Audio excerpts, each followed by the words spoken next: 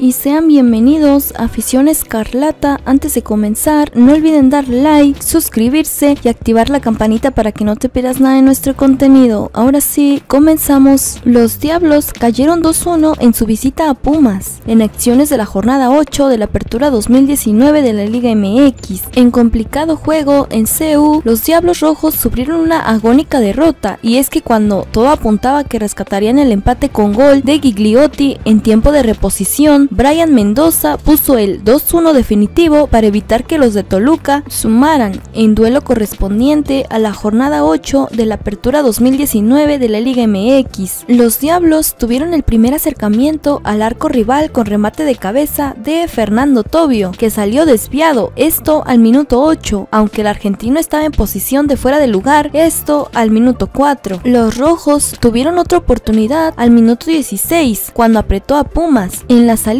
y Emanuel Gigliotti se encontró de frente al arco. Intentó con potente disparo de derecha, pero el arquero de Pumas, Alfredo Saldívar, alcanzó a desviar apenas. El balón impactó a la base del poste derecho antes de abandonar el terreno de juego. La respuesta de Pumas fue un disparo de barrera que atajó Alfredo Talavera al minuto 26. El 0-0 se mantuvo tras unos primeros 45 minutos, más o menos equilibrados. No obstante, Pumas encontró la anotación al minuto 55 de tiempo corrido para poner el 1-0, cortesía de Carlos González. Los felinos sorprendieron con cambio de ritmo y una pared por el centro del área. González controló con la rodilla y fusiló de derecha para poner en ventaja a su equipo. Talavera atajó disparo de Malcorra al minuto 62 para salvar su arco del segundo. El arquero Escarlata volvió a ser factor al minuto 78 cuando en mano a mano con Brian Mendoza, Tala salió seguro para quedarse con el esférico. Ya en tiempo de reposición, con jugada por sector de la derecha de Luis Hernández, Emanuel Gigliotti conectó de cabeza para el 1-1 al minuto 91, pero Pumas consiguió el 2-1 al minuto 92. Con un descuido defensivo, Brian Mendoza terminó enviando al fondo de las redes para dar la victoria a los universitarios en acción apretada, pues parecía que el anotador estaba ligeramente adelantado. Viene la pausa en el torneo mexicano y tiempo para replantear lo que resta la competencia, buscando salir de la parte baja de la tabla donde hoy marchan con apenas 5 puntos. Y Ricardo Lavolpe consideró que falta los Diablos protagonismo. Seguirán trabajando para mejorar, aseguró. El director técnico Ricardo Antonio Lavolpe lamentó la derrota de sus Diablos Rojos, que se dio con gol sobre el final de la visita a Pumas de la UNAM, y consideró que la falta de confianza es el factor principal que ha impedido que sus jugadores puedan desarrollar el fútbol que se espera de ellos y en especial obtener los resultados. El estratega argentino confía totalmente en la calidad de jugadores con los que cuenta el equipo Escarlata, pero aseguró que la falta de confianza ha pegado y evita que los jugadores tengan protagonismo para atacar, generar las opciones de gol y los goles necesarios para meterse a la pelea en el complemento. Nos está faltando la confianza. Los equipos cuando tienen confianza del protagonismo la piden, la tocan, hay más transición, hay protagonismo, se juega mejor a la pelota y es lo que nos está faltando. Tan es así que algunas veces ni le damos los espacios a los delanteros, vamos tan hacia adelante pero sin la idea adecuada que debe tener un equipo, explicó el estratega. Agregó, el equipo tiene que ir hacia adelante, pero si no tienes ese protagonismo, lo único que haces es quitarle espacios a los delanteros. Asumimos una responsabilidad de protagonismo de salida, pero empujamos demasiado al rival y en el fútbol mexicano los volantes bajan,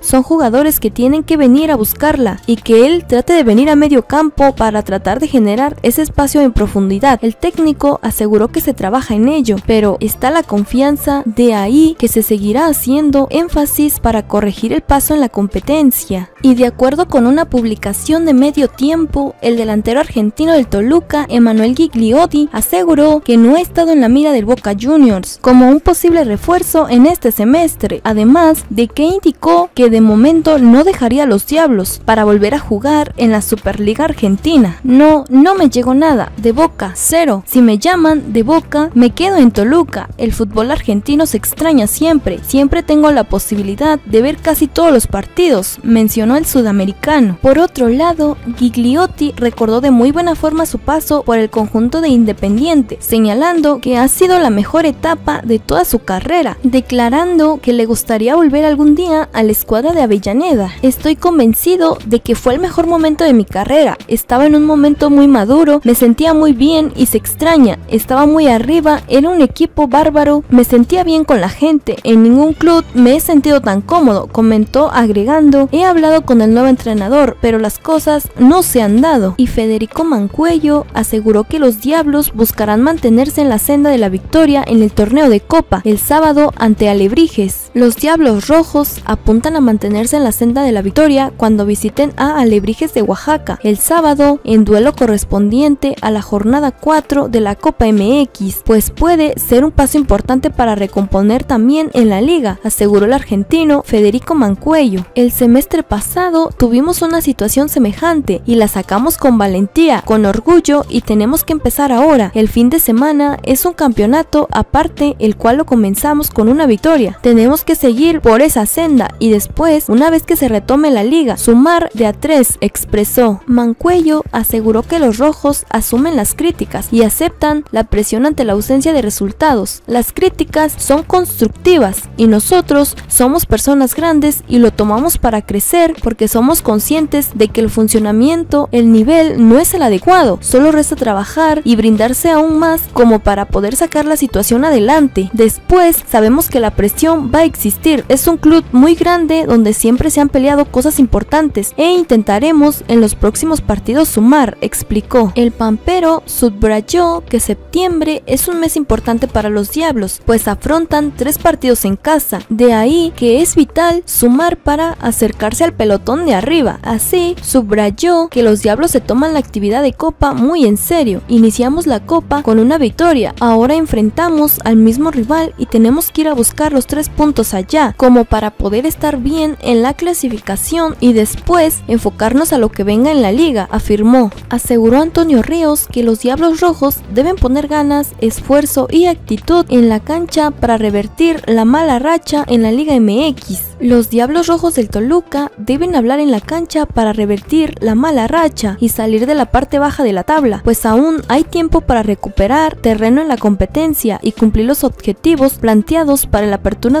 2019, aseguró el mediocampista Antonio Ríos. Hemos platicado bastante, pero es importante que no queden hablar, simplemente trasladarlo a la cancha. Tratamos de hacerlo en la semana, entrenando y desafortunadamente en el partido no se nos da. Si queremos estar en liguilla, tenemos ya que cerrar filas, empezar de cero e ir a sumar. Tenemos que pensar sí o sí en ganar cada partido, subrayó el jugador. Toño Ríos reiteró que hay tiempo, pero desafortunadamente hemos dejado bastantes puntos. Eso al final vamos a sufrir, pero tenemos que cerrar filas e ir a disputar cada partido al máximo si queremos lograr el objetivo que nos planteamos desde el principio. Tenemos que ir a luchar a muerte cada partido y que se vea con las ganas. El experimentado jugador reconoció que duele ver al equipo en las últimas posiciones de la tabla y aseguró esto solamente lo podemos sacar con trabajo, con actitud, con ganas. Aseguró que es también en la cancha donde el equipo debe manifestar el respaldo al cuerpo técnico, encabezado por Ricardo Lavolpe. Ahora, de cara a un partido de la Copa MX que se plantean ganar, nosotros tenemos que entrar a dar nuestro 100% y eso te puede respaldar la continuidad del entrenador. Nosotros trabajamos al máximo, tenemos partido de Copa donde tenemos que ir a demostrar que el equipo quiere e intenta hacer lo mejor posible y revertir esa situación, expresó. Y aficionada de Toluca encara a Alexis Canelo. Cansada de los malos resultados de Toluca en el actual torneo, una aficionada se acercó a Alexis Canelo para encararlo y reclamarle personalmente sobre el rendimiento que ha tenido la plantilla de los Diablos en el Apertura 2019, donde siguen sin levantar. En el cuadro de Ricardo Lavolpe tiene una victoria, dos empates y cinco derrotas, con una diferencia de 6, apenas marcando 5 goles y recibiendo 11. Su último tropiezo fue ante los Pumas de la UNAM por un marcador de 2-1. Tras el enfrentamiento fue que se dio el acercamiento de la aficionada con el jugador. La seguidora insistió en el esfuerzo que hace la afición por seguir al equipo a todas partes y que no se ve reflejado en el esfuerzo de ellos dentro de la cancha. Hay que echarle ganas, le dijo la aficionada mientras el argentino trataba de explicar sus razones del mal momento de la institución escarlata. Toluca tendrá dos semanas para tratar de corregir el paso en el torneo. Su siguiente enfrentamiento será después de la fecha FIFA ante Monarcas Morelia en el estadio Nemes